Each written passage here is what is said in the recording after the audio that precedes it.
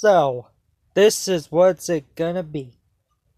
This is how it will go that Warner Brothers, Warner Media, and Discovery decide to merge as it will be finalized in a few months. And this is what they'll own. Here is the Warner Media side. You get Adult Swim. Of course, that's obvious. They get Boing, which is the international network of Cartoon Network itself. Boomerang. Cartoon Network itself, of course. Cartoonito. Uh, CNN. Oh, look, look, they have LazyTown Entertainment. Yeah, they own LazyTown Entertainment since 2011, actually.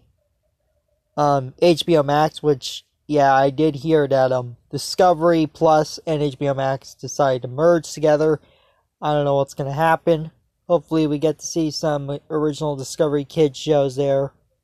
So, yeah.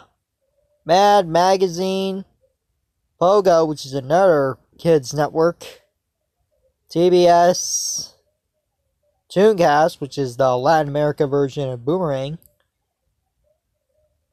Warner TV, and others. So, yeah, that's the Warner Media side. Now let's take a look at the Discovery side. You got Discovery Channel, of course, Discovery Family, which, yeah, the channel might as well shut down.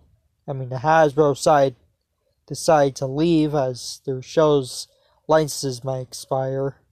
Food Network, Frisbee. Anyone remember Frisbee? They also have K2, which is another channel. Which I'm surprised because I thought those two are like Nickelodeon shows. Was it that other network called Super? I don't know, but K2 is, yeah, another channel.